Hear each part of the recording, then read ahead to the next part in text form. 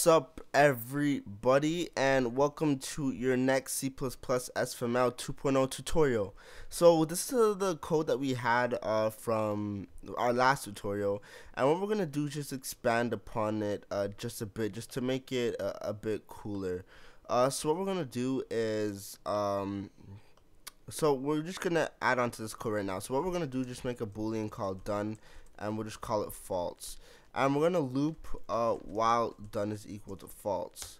So um, remember that mode variable that we created last tutorial. So now we're gonna make use to it, use of it. So if we set the mode, we're gonna set the mode to S for send, and when the mode is equal to R, it means um we sent that means it's sending, and when we set to R, it means it's receiving. So for um the server is gonna be able to send a message first, and then the client will be able will re be receiving first. Once the client receives a message, uh then it will switch the mode to send so it can send a message back and so on and so forth. Now this isn't the most efficient texting system in that um uh, you can't send multiple things over and over, but it's just just a little program to show um, some of the capabilities of what what this can do.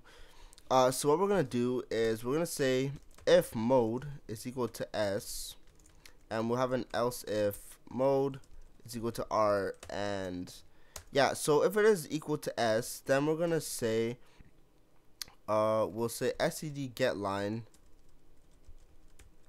and we'll say send and uh, we'll put in the text in there. Okay?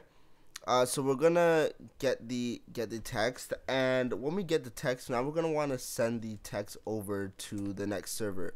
So we're gonna say uh, socket dot send and uh, what we're gonna do is just send the text like we do before like we did before. So we'll say text dot c underscore string and we'll say text dot length plus one Okay, so we sent that, and then we're going to set our mode equal to R. Now, while the... Now, now what we're going to do now is we're just going to say... Now, what if I did socket.receive, and uh, I put in the buffer, and I put size of the buffer, and I put received. And then I said mode equals, or then I displayed it to the screen, and I said buffer and and you know what? I'll put received. And then I put in the buffer. And I put mode S. Why would this not work?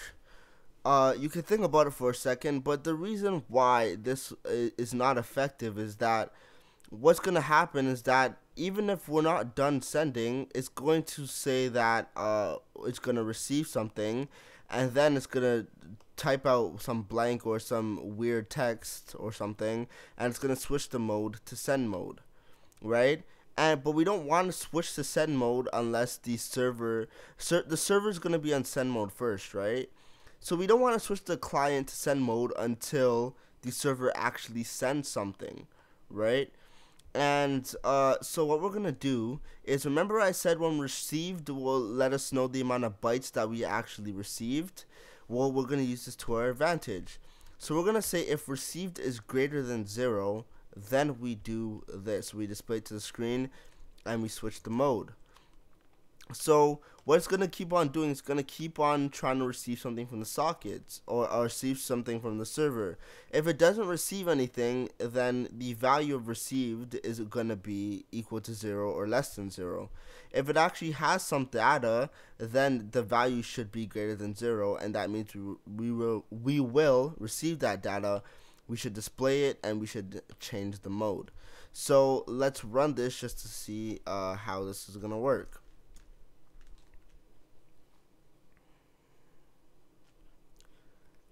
And uh, uh we're gonna do is open this. So I'm gonna set this to the server. Set this to the client.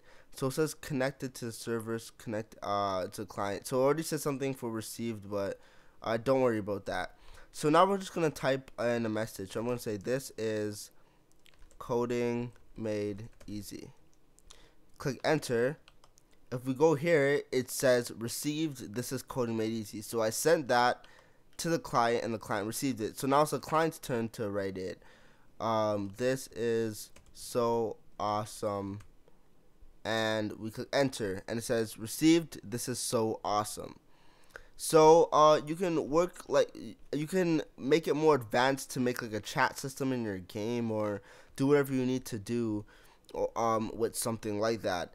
And a cool thing too is that um, if you want to ex- just expand, you can expand your mind with this. So, for example, if you're making a two-player game, you could send the player's X position or the player's Y position or the player's position on the map um, to the client and then modify it on the client side based on the player's position and so on and so forth.